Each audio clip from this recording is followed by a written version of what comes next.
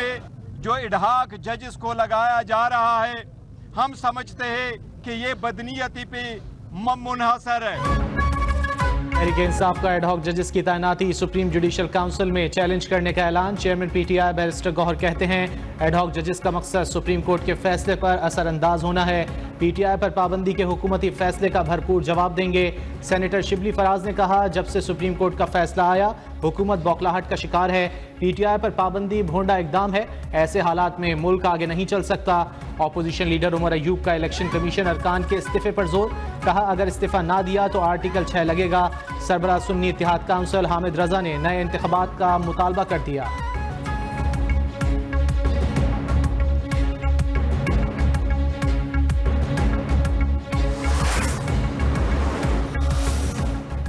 Ad hoc जजेस तैनात होने चाहिए। तैनाती की आइन इजाज़त देता है। वो चीफ जस्टिस ने नहीं जुडिशल कमीशन ने मुकर करने हैं। विफाकी वज़ीर कानून आज़म नज़ीर तारण ने वाजे कर दिया। कहा, गुजशत साल पी टी आई पर पाबंदी ना लगाने का फैसला सियासी माहौल बरकरार रखने के लिए किया था। बानी पी टी आई पर आर्टिकल छः का जायज़ केस बनता है।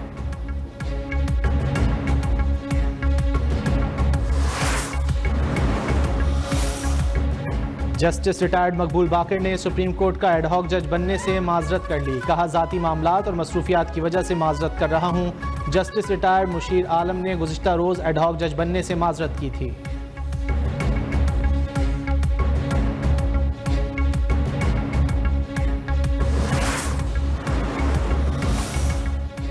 किसी भी पार्टी पर पाबंदी के लिए डिक्लेरेशन दिया जा सकता है। वज़ीर आज़म के मुशीर राना सनाउल्ला ने दो टोक कह दिया। बोले, हुकूमत आर्टिकल 17 के तहत डिक्लेरेशन दे सकती है। हुकूमत ने अभी अपने इरादे को ज़ाहिर किया है। डिक्लेरेशन से मुतफिक हो जाए तो पाबंदी लगती है।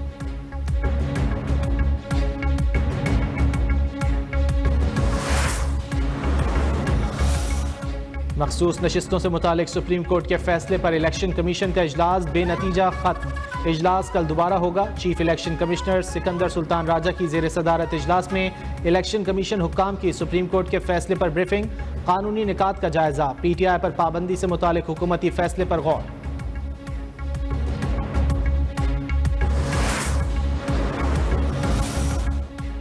पीटीआई और सुन्नी इतिहाद काउंसिल का मुश्तरका इजलास, पीटीआई पर पाबंदी का फैसला, हुकूमत का काउंट डाउन करार इजलास में कौमी असम्बली के इक्यानवे अरकान का पीटीआई से वाबस्तगी का इजहार। आज फहरिस्त इलेक्शन कमीशन में जमा कराए जाने का भी इम्कान।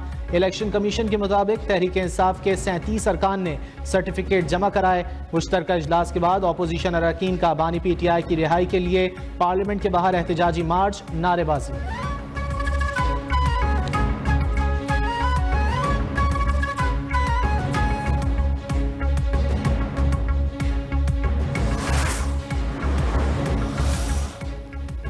अपोजिशन लीडर उमर अयूब ने स्पीकर कौमी असम्बली को तहरीक इस्तेकाक जमा करवा दी। अडियाला जेल के बाहर मीडिया से गुफ्तु कहा पी टी आई एक है और एक रहेगी। इन्होंने हमारे लीडर को जेल में डाला, लेकिन पार्टी नहीं टूटी। इस हुकूमत का गरीब और मेहनत कश से कोई ताल्लुक नहीं। हुकूमत के लोग सिर्फ़ पैसे बनाने के लिए आए हैं।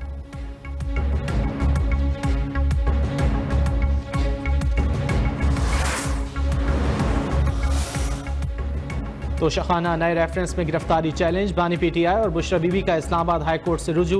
अदालती अहकाम के बगैर गिरफ़्तार न करने की इस्तदा।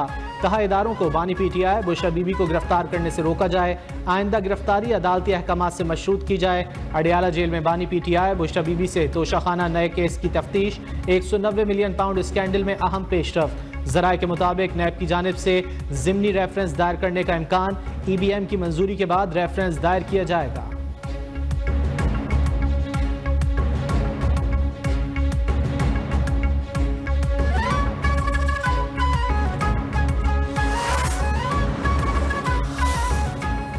एक सौ नब्बे मिलियन पाउंड स्कैंडल केस में सबक प्रिंसिपल सेक्रेटरी आज़म खान का रिकॉर्ड बयान सामने आ गया। कहा, मामले को बानी पीटीआई से तस्दीक के बाद काबीना सेक्रेटरी को मंजूरी दी थी।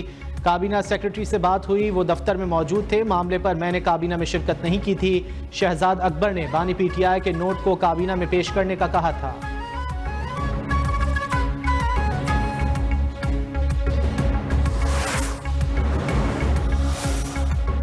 नौ मई के बारह मुकदमात में बानी पीटीआई के जिस्मानी रिमांड का फैसला, लाहौर हाईकोर्ट में चैलेंज।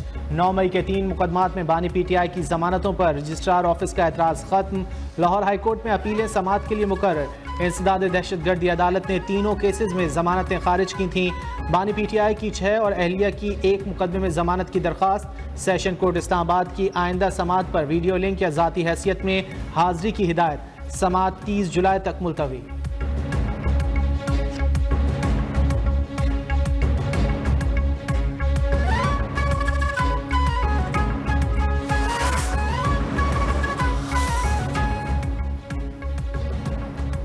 इस्लामाबाद हाई कोर्ट ने सनम जावेद की गिरफ्तारी गैर कानूनी करार देकर रिहाई की दरख्वास्त निपटा दी। अटर्नी जनरल की अदालत में पी टी आई रहनुमा को किसी भी मुकदमे में गिरफ़्तार न करने की यकीन दहानी। जस्टिस हसन औरंगज़ेब की सनम जावेद को सोशल मीडिया पर सियासी बयानबाजी से गुरेज की हिदायत।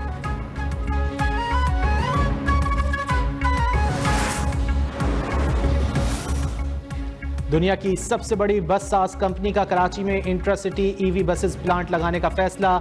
यूटोंग मशरक वस्ती के सीईओ और दीगर हुकाम की सिंध के सीनियर वज़ीर शर्जील मेमन से मुलाकात। कहा यूटोंग की जानब से प्लांट लगाने का काम तीन माह में शुरू होगा और आइंदा साल तक मुकम्मल हो जाएगा। अब यूटोंग की इंट्रासिटी और इलेक्ट्रिक बसेस कराची में बनेंगी।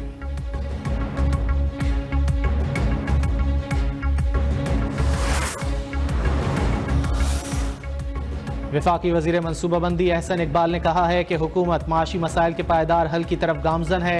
हमने 2019, 2020 और 2021 में मरदमशुमारी करने का अहद किया था जिस पर सबक हुकूमत के दौर में कोई खातिर खा अमल दरामद ना हो सका।